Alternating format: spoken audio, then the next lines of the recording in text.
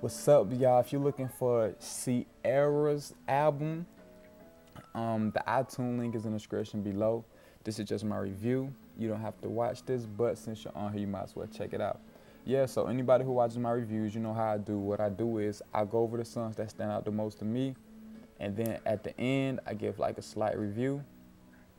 With that being said, enough talking, let's get into it. Um, I may be looking down at my phone at times. That's just because I wrote some notes, so you know, just bear with me. All right. First on the list of the songs that I like is uh, Body Parts, co-written by Future. I'm sure everybody heard that. It's on the radio all the time. You know, it's a real heavy radio single and very catchy. You know what I'm saying? Hate it or love it, it, it actually grows on you. Like a lot of Future stuff. So I like that song a lot. Um, next is Read My Lips.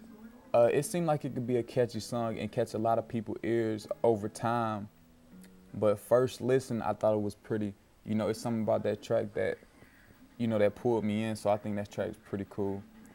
Next, uh, Where You Go featuring Future. I actually like this song a lot. Uh, I can see this song being like a crossover song. You feel me? Pretty good song. Next is Living, uh, Living It Up featuring Nicki Minaj very well put together song. Um, I could see this song also being a good crossover song and doing real well. Like I could see this really succeeding.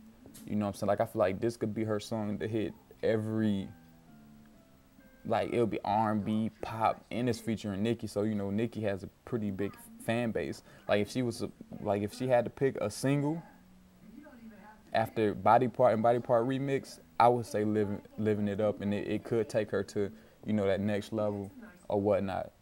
That's the song I would say.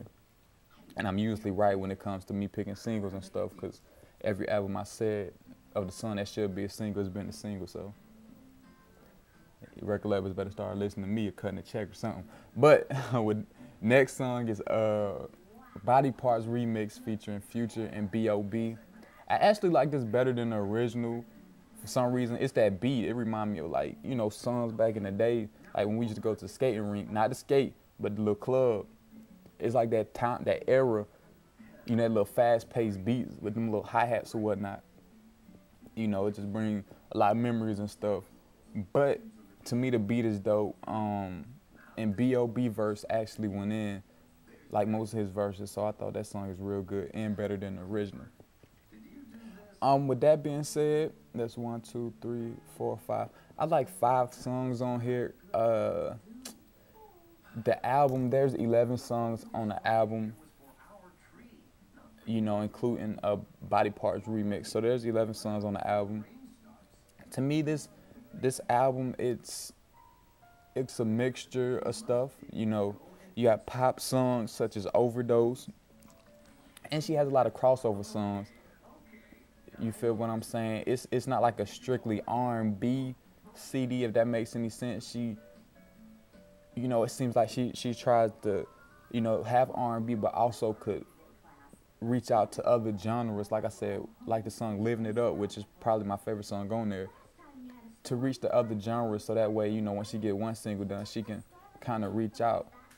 Like if so, if you're just looking for like just R&B, R&B, she has a mixture of you know a little bit of everything and uh, you know, from a scene, she featured Nicki a few times. You know, she featured Nicki two times and Future a couple times. So you know what I'm saying. But for me, I think the CD's okay. You know, I wouldn't. I'm not gonna go crazy. It's, it's better than what I expected, but I'm not gonna go. You know, I'm not gonna just say it's the it's the best CD ever as far as R&B this year, especially on the female side, I still think Kelly Rowland has the best CD out. I'm hands down. But uh, yeah, Ciara album, you know, it, it's straight to me. If I had to rate it, you know, from one to ten, I like five songs. Probably like a, from one to ten, maybe like a, a six and a half, maybe a seven or something. Maybe like a six and a half. She might reach that seven mark But as of now, maybe like a six and a half. Cause it's it's just cool, but you know, it's just it's just okay. You feel me? It's, it's no songs that truly stood out to me like that, besides the song with her and Nicki and Body Parts. But that's just my opinion. Um, Ciara fans, she like I said, she has some songs on there that's good, but the rest of them really didn't.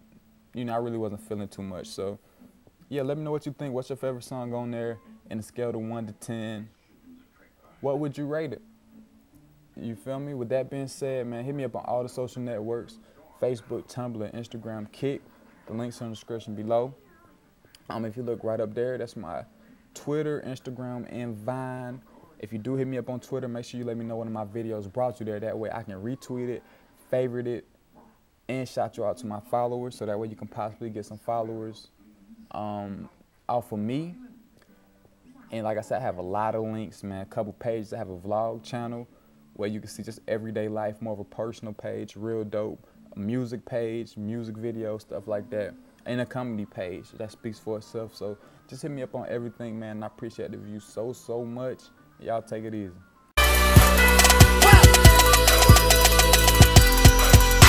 She real bad, I mean real bad. Brown eyes with that thick ass, her red bottoms and red hair. Drop, drop, drop.